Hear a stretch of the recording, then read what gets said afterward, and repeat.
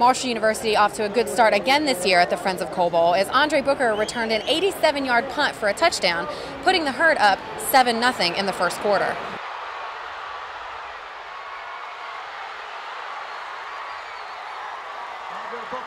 Kicker Tyler Warner put one through the uprights, giving the herd 10 points at the half to West Virginia's 20.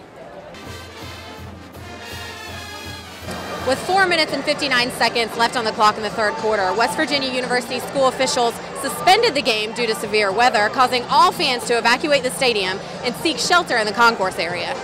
Even though the rain delayed the game, quarterback Rakeem Cato looked great in his first start for the Thundering Herd.